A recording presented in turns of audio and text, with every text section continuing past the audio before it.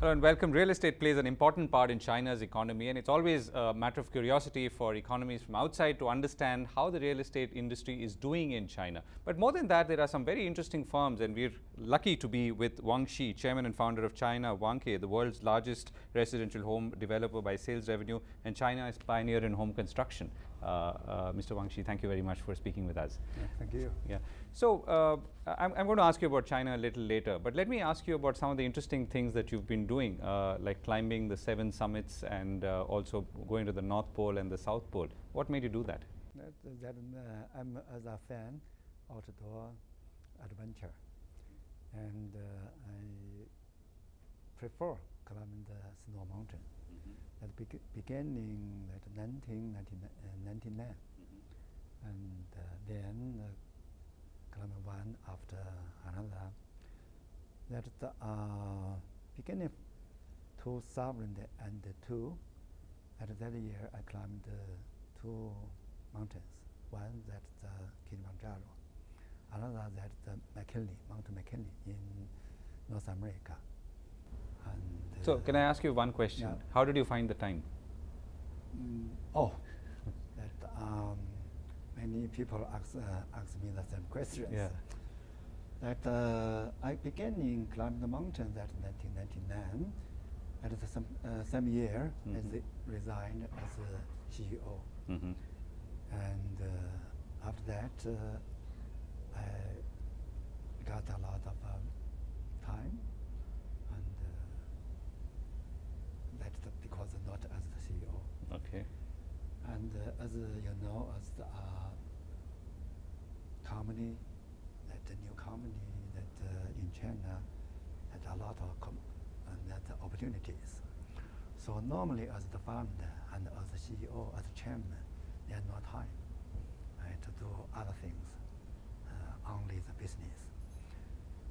Uh, for me, I believe as the uh, health the business model, you not uh, only de- Mhm. depend on yourself, you have to depend on team.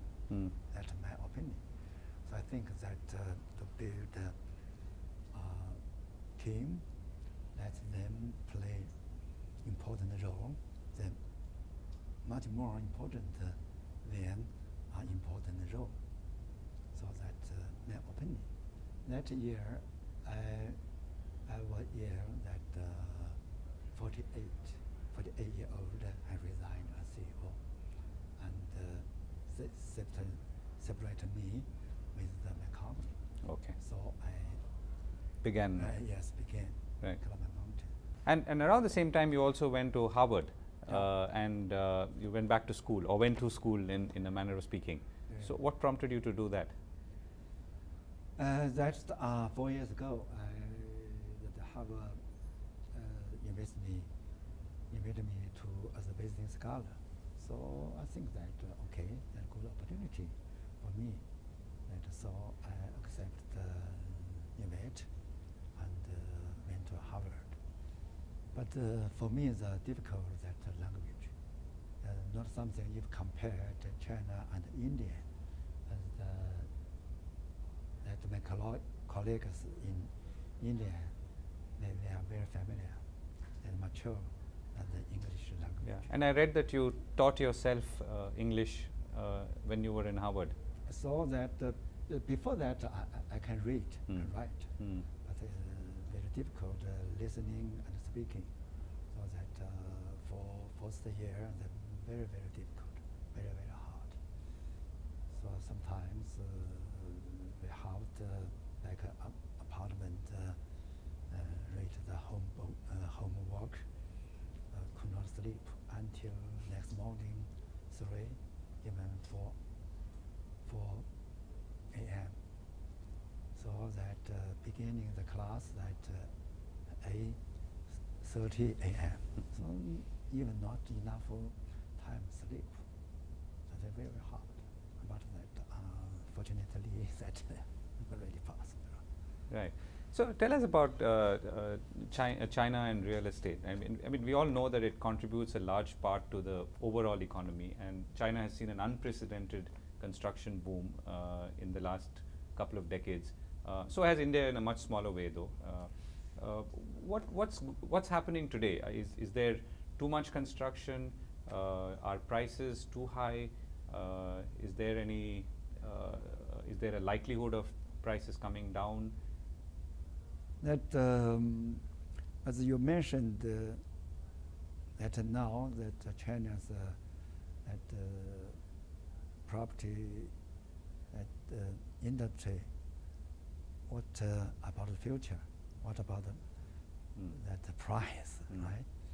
That uh, that price uh, that a little bit high, and uh, also that bubble that uh, now it has to has to be faced, and uh, um, be careful. But as the whole that uh, China, the economy also growing, also slow down and uh, but that a, a, lot of opportunity, also the that are dries. So how to be careful?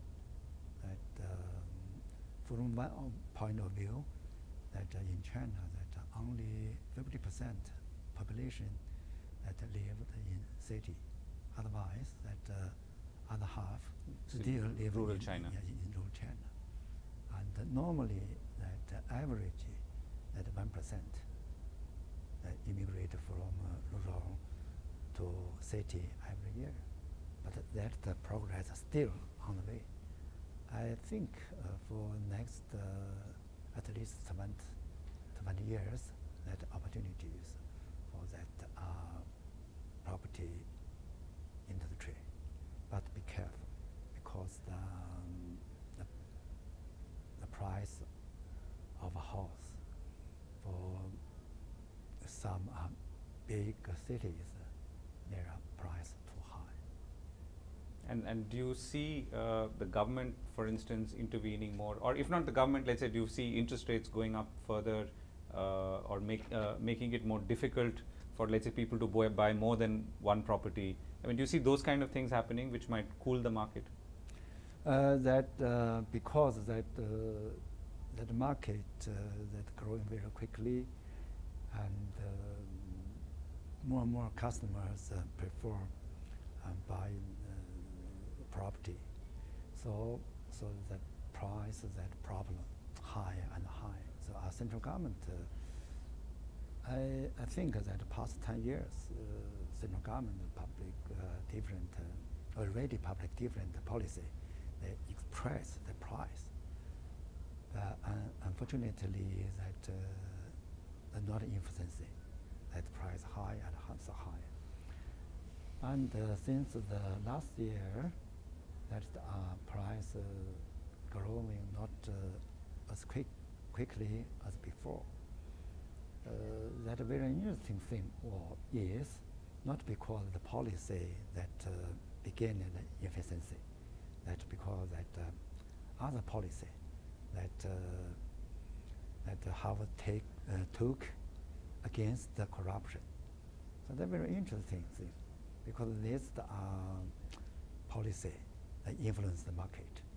So that, uh, in my opinion, that the policy that uh, against pollution that in influence that uh, that uh, property the market. Very interesting because that uh, uh, corruption money a lot of uh, that through that property, mm -hmm. and also that that got the money from corruption also buy the property.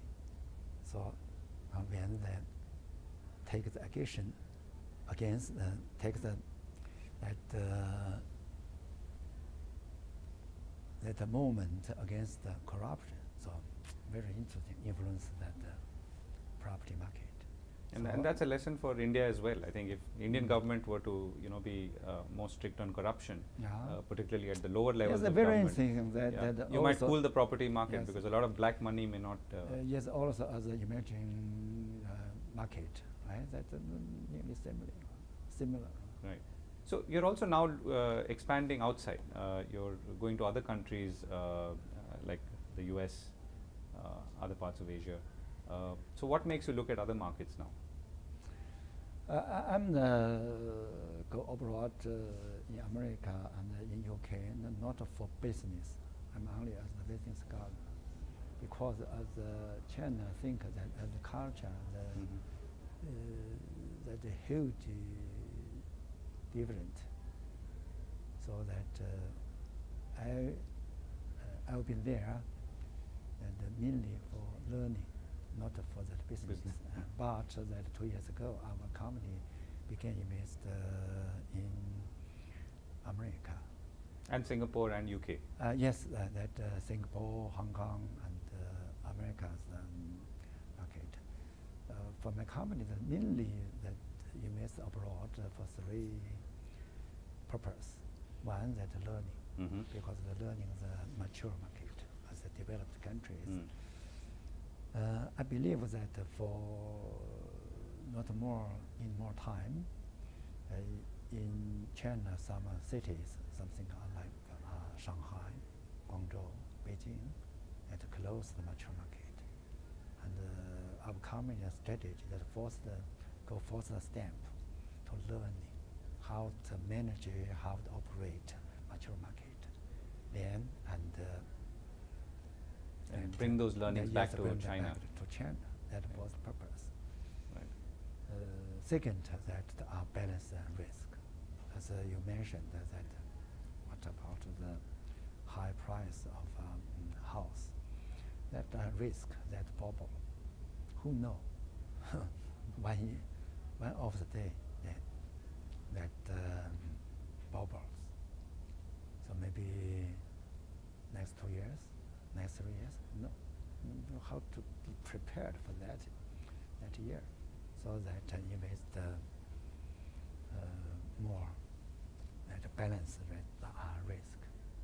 Third, uh, for our uh, our cu- customers, because more and more the upclass uh, families now in China that are that choice that immigrate abroad, and mainly America Mm. and UK and Australia. That our that uh, three. So, you're, are you in some ways you're uh, targeting the same Chinese uh, market or the Chinese immigrant market in these countries, or What what do uh, you mean? would you ch- target Chinese uh, overseas Chinese in, the- in the the- U.S. and Uh, for, for, for, uh, yes, that uh, for, for, for, uh, for my company, the mainly that invest uh, Mm. also the in mainland China, but that uh, you, you balance that risk, so uh, invest uh, abroad.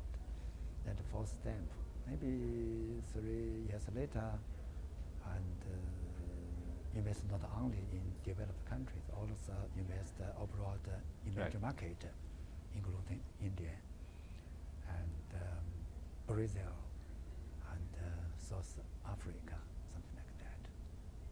Okay, that's interesting. And last question. So you've already cli- uh, climbed seven mountains and reached both the poles. So what's the next big challenge?